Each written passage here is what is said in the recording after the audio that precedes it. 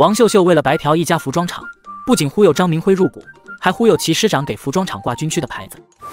王秀秀带张明辉来星月大酒店吃饭，趁王秀秀去洗手间，张明辉向前台小姑娘打听王秀秀。王秀秀是你们酒店的常客吗？你跟她看起来挺熟的。秀姐是我们酒店老板高总的干妹妹啊。干妹妹，听到这话，他不由得想歪了。这高总一听就是个四五十岁的中年男人，认王秀秀这么娇滴滴的小姑娘当干妹妹，这个企图感觉就不是很纯粹。这不是秃子头上的虱子，明摆着的事情吗。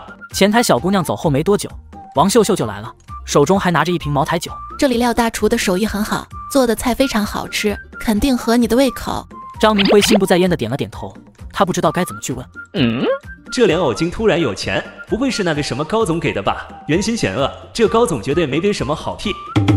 投资十万块，我给你公司两成的股份，这两成的股份进入公司的话，我算你五十万，而且以后就算你想退股的话，我也会按照五十万给你退。这十万块钱投进去的话，那分分钟就变成五十万。而且服装厂的生意肯定不用说，每年的分红都不止十万块钱，稳赚不赔。要不是咱们两个是好兄弟，这么好的事情哪能轮得到你，是吧？你就别忽悠我了。要不是我手里有各个大商场合作销售的资源，怕是这么好的事情你也想不到我。我虽然没有莲藕精心眼多，但是也不傻，好吧？看你这话说的，你这是在质疑咱们兄弟的感情。我是那种人吗？就算是没有，我也会想到你。再说了，这些资源也不是一开始就是你的，只要肯用心去经营，都能有的。不过是非些时日罢了。你就说你跟不跟我干？王秀秀站起身，举着手中的酒杯，看着对面的张明辉。这一刻，他在赌。赌张明辉一定会答应。良久，张明辉才开口：“这么好的事情你能想到我，我怎么能不识抬举呢？”张明辉同样站起身，举着手中的酒杯：“合作愉快，合作愉快，放心吧，跟秀姐混绝对不会让你失望的。”王秀秀让服务员拿来了事先准备好的合同。我就知道这莲藕精是早有预谋，合同都准备好了。拿出服装厂两成的股份，不但拉拢了张明辉，还从他这里得到了十万块。拿出其中的五万给汪志，剩下的五万用来买设备。呃，不过我这不是白忙活了吗？这设备的事情还要再想一想办法，找人拉个赞助什么的。吃完饭，两个人下了楼。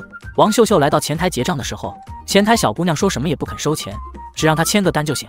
我们高总说了，你来的话只要签单就行了，不用出钱。那怎么行呢？你给我充张卡吧。王秀秀直接从包里拿出一千块钱放在了桌子上，前台小姑娘有些为难，居然还有不要钱非给钱的。可是高总吩咐过。此时高星月恰好从门外走了过来，前台小姑娘眼前一亮，终于看到救星了。高总您来了，秀姐非要给钱，我不收都不行。妹子你这是做什么？这不是打姐的脸吗？咱们一家人吃个饭，你还要给钱？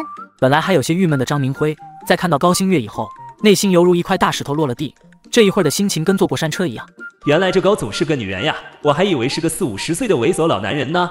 咱们自己人，我吃饭不要钱，给我充张卡行吧。以后厂子弄起来，少不得要招待客户，公司的人过来消费总得收钱，我总得照顾自家生意不是？高新月是真的觉得这个干妹子很上道，不去一味的占便宜，而且非常懂人情世故。给你秀姐开张至尊卡，里面直接充上三千。王秀秀拿出的一千块钱直接变成了三千块钱。谢了月姐，改天服装厂出了第一批新款衣服，第一件一定要拿给你先穿。王秀秀一直知道，做人要懂得感恩，要懂得礼尚往来。那必须的。王秀秀盘算着怎么拉到军区的服装订单。这个事情还要去找齐师长，不过在去找齐师长之前，我必须要手里先有点筹码，不然怎么说呢？本来准备进家门的王秀秀转身又去了广播室。嫂子是有什么事吗？有一点小事，又来麻烦你了。我这不是开了一个服装厂吗？本来只要放出风声，那来应聘的大有人在。但是我想了想，这种好事自然是要先紧着自己人。咱们军嫂大多不容易，一家子靠着男人那一份工资过得紧巴巴的。我就想着优先招收军嫂们。这服装厂每个月的工资是三十五元，每个人每个月还有两天的假期。这份工作跟正式工比也不差什么，所以我就想着来广播室吆喝一下，让大家都知道知道谁有意愿了，可以来我这里报名。秀秀嫂子居然开了一个服装厂，妈呀，这可是通天的大本事，这可是天大的好事呀！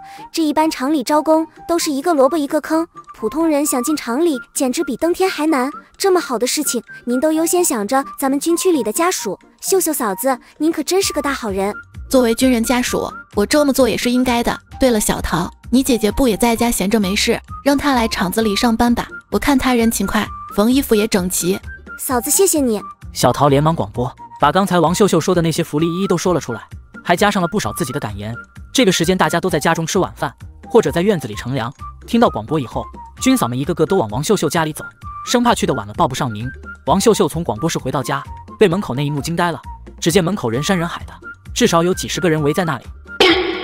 妈呀，就这一会儿的功夫，号召力这么大吗？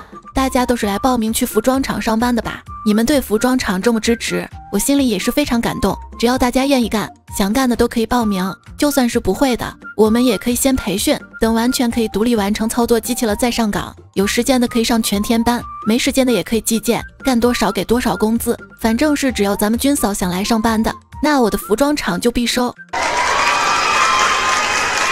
那个谁会写字，可以帮忙登记一下人数，登记好了交给我。秀秀嫂子，我会写。好，这个事情就交给翠儿你来办。如果谁想去服装厂上班的，就在你这里先登记，登记完了，然后我再统一安排。时间也不早了，大家都回去睡吧。明天登记也是行的。众人得到保证，这才纷纷离去。这件事可在军区家属院中引起了轩然大波，很多没时间上班的也都报名了。反正是干多少给多少钱的工资。对于这件事，齐大河也是知道的，广播他可是听得清清楚楚。嗯，这骆向东家的是个好的，处处为军嫂们着想。虽然上次多要了我五十块钱，但是他肯定还会花在大家身上，不能计较这个。你没事的话，就去秀秀妹子那里看看。他办厂子要是遇到什么麻烦的，记得跟我说。他实心实意为整个军区家属院干实事，真要遇到困难，还是要说的，我一定会想办法给他解决。嫂子，你怎么来了？快进屋。不进去了，说两句话就走。刚才你在大喇叭里广播说你开了服装厂，优先招收咱们军嫂。你齐大哥听了很是欣慰。说你一个女人自己创业肯定很不容易，有什么困难只管跟他说，只要他能帮到的绝对帮忙。谢谢你嫂子，齐大哥真是为国为民的好师长。说真的，还真有点事情想让齐大哥帮忙。王秀秀装作有些不好意思的样子。嫂子你也知道，开这么大一个厂子，肯定有那些个牛鬼蛇神来找麻烦。我想让齐大哥给我做一块挂牌，就做一个军区家属服装厂，表明咱这个厂就是军区家属们的厂子。这样那些不三不四的人也不会来找麻烦了。另外再派些人帮着收拾一下厂子，这些脏活累活，要是让咱们军嫂们干，肯定要很长时间。